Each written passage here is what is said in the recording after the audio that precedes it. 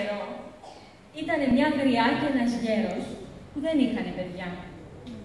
Μια μέρα που η γριά καθάριζε κουκιά, γυρίζει και λέει στο γέρο «Αχ, γέρο, αχ και να τα τα κουκιά, παιδιά». Και δεν πρόλαβε να τελειώσει την κουβέντα της και όλα τα κουκιά που είχε στην ποδιά της γίνηκαν παιδιά. Εκατό παιδιά. Και εκείνο το κουκί που πρόλαβε και δάγκωσε στο στόμα της, έγινε και αυτό παιδί, μισό παιδί. Και το ονόμασαν μισόκοκο, μισοκούκι. Χαρές που κάναν οι γέροι. Βάλανε τα εκατό παιδιά στα στρέμματα να τα φροντίζουν και το μισοκούκι τον κρατήσανε στο σπίτι να κάνει τις δουλειές.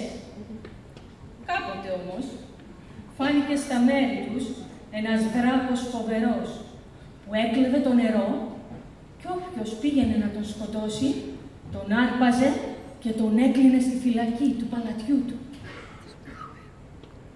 Ήρθε και η σειρά των παιδιών να πάνε να δοκιμάσουν την τύχη τους, να σκοτώσουν τον δράκο. Η γριά δεν ήθελε να τα αφήσει να πάνε. Φοβότανε. Μα τι να κάνει. Κράτησε το μισοκούκι στο σπίτι και έστειλε τα παιδιά. Στον δρόμο που πήγαινα, βλέπουν ένα γέρο. Πού πάτε, ωραία παιδιά, πάμε να σκοτώσουμε τον δράκο.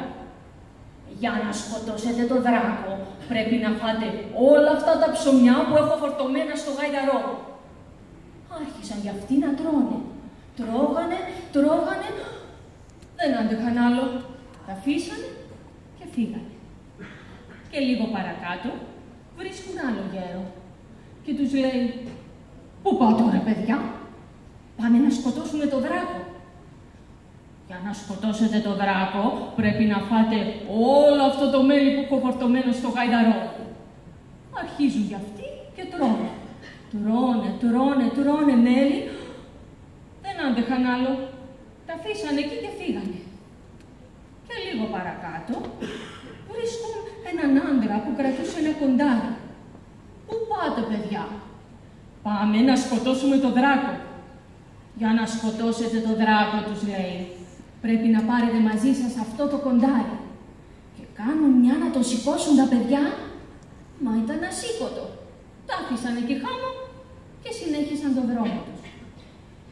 Και δεν σταμάτησαν παρά μονάχα όταν έφτασαν σε ένα πηγάδι να ξαποστάσουν. Τους βλέπει ο υπηρέτης του δράκου από μακριά και φωνάζει «Δράκο και κυρδράκο, κάτι παιδιά, πίνουν νερό από το πηγάδι σου». «Πώς το πίνουν το νερό», λέει ο δράκος. «Γουλιά, γουλιά το πίνουν, γεια σιχλιά, σιχλιά». «Γουλιά, γουλιά το πίνουν». «Ας τους να'ρθουν», λέει ο δράκος. Και τα παιδιά προχώρησαν και φτάσανε στα μπέλια ο υπηρέτης τους είδε. «Δράκο και κυρδράκο, τα παιδιά τρώνε τα σταφύλια σου». «Πώς τα τρώνε τα σταφύλια» «Ρόγα ρόγα τα τρώνε, για τσαμπί τσαμπί». «Ρόγα ρόγα τα τρώνε». «Ας τους να'ρθουν», λέει ο δράκος. Και σιγά σιγά τα παιδιά έφτασαν στα σκαλιά του παλατιού και άρχισαν να ανεβαίνουν. Και ο υπηρέτης φώναξε «Δράκο και κυρδράκο, τα παιδιά ανεβαίνουν τα σκαλιά του παλατιού.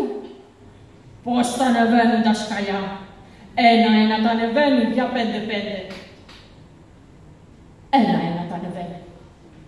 Ας τους να'ρθουν, λέει ο δράκος και τους περίμενε στην άκρη της σκάλας, τους αρπάζει και τους κλείνει στη φυλακή. Τι να κάνει και ο καημένος ο Μισοκούκης. Έπρεπε να πάει να σώσει τα αδέρφια του. Ξεκίνησε λοιπόν και στον δρόμο βρίσκει τον πρώτο γέρο, που του είπε πως έπρεπε να φάει όλα τα ψωμιά που είχε στο γαϊδαρό του. Αρχίζει λοιπόν, έτρωγε, έτρωγε, έτρωγε, έφαγε όλα τα ψωμιά και δεν άφησε ψίχουλο. Να φάω και το πανέρι. Όχι, ας το πανέρι. Να φάω και το γαϊδαρό. Όχι, ας το γαϊδαρό. Καλά. Και συνέχισε τον δρόμο του. Και λίγο παρακάτω βρίσκει το δεύτερο γέρο που του είπε πως έπρεπε να φάει όλο το μέλι που είχε φορτωμένο στο γαϊδαρό του. Άρχισε λοιπόν να τρώει. Έτρωγε, έτρωγε μέλι ο Μισοκούκης, Δεν άφησε ούτε σταγόνα. Να φάω και το γάιδαρο. Όχι, ας το γάιδαρο. Να φάω και την κανάτα. Όχι, ας την κανάτα. Συνέχισε λοιπόν τον δρόμο του, μέχρι που βρήκε τον άντρα με το κοντάρι. Για να σκοτώσεις τον δράκο, του λέει, πρέπει να πάρεις μαζί σου αυτό το κοντάρι. Κάνει μια ο Μισοκούκης, αρπάζει το κοντάρι και αρχίσει και τρέχει, σαν και δεν σταμάτησε παρά μονάχα όταν έφτασε στο πηγάδι να πιει νερό.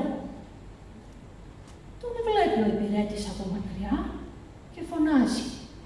Δράκο και κυρδάκο, κάποιος πίνει νερό από το πηγάδι σου. Πώς το πίνει το νερό; Γουλιά, γουλιά το πίνει, για σικλιά, σικλιά. Σικλιά, σικλιά το πίνει. Σταματήστε τον, φώναξε ο δράκος. Μην έρθει πάνω. Μα ο Μισοκούκης είχε κιόλας προφτάσεις και έφτασε στα μπέλια και έτρωγε στα φίλη.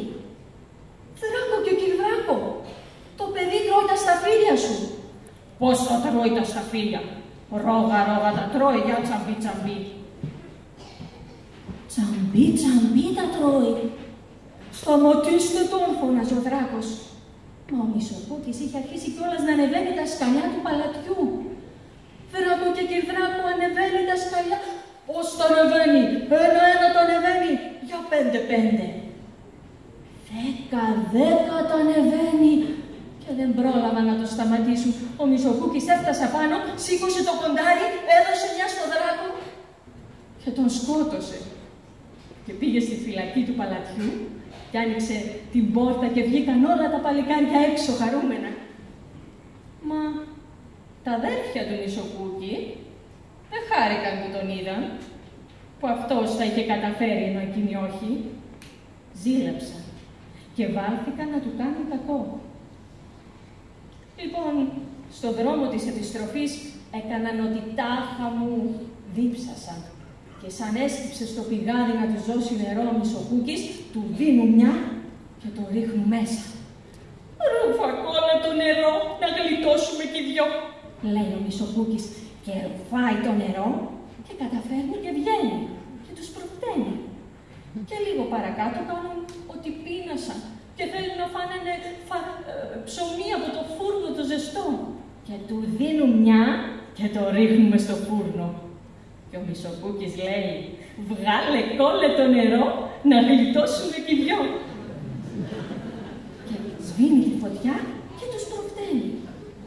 Και λίγο πριν φτάσουν στο χωριό, βλέπουν μια κυψέλη και του λένε πως πείνασαν, θέλουν λίγο μέλι και ρίχνουν πέτρες στην κυψέλη, σπάει, βγαίνουν όλες οι μέλισσες πάνω του και κάνουν να τον τσιπήσουν. Και φωνάζει ο Μισοκούκης, «Ρούφα κολεμέλισσες, ρούφα κολεμέλισσες». Ρουφάει όλες τις μέλισσες και έτσι πρόφτασε ξανά τα παιδιά λίγο πριν φτάσουν στο χωριό τους. Και εκεί συνάντησαν κάτι άγρια άλογα και του δίνουν μια και πέφτει κάτω να τον πατήσουν. Μα ο Μισοκούκης λέει Βγάλε κόλλο μέλισσες, βγάλε κόλλο μέλισσες. Βγάζει τις μέλισσες, τα άλογα τρομάζουν και φεύγουν και έτσι πάλι σώθηκε.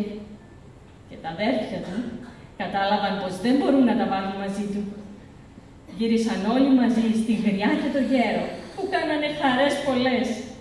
Και ο Μισοκούκης πήρε όλη την οικογένεια και τους πήγε στο παλάτι και γίνηκε βασιλιάς και ζήσανε αυτοί καλά και εμείς καλύτερα.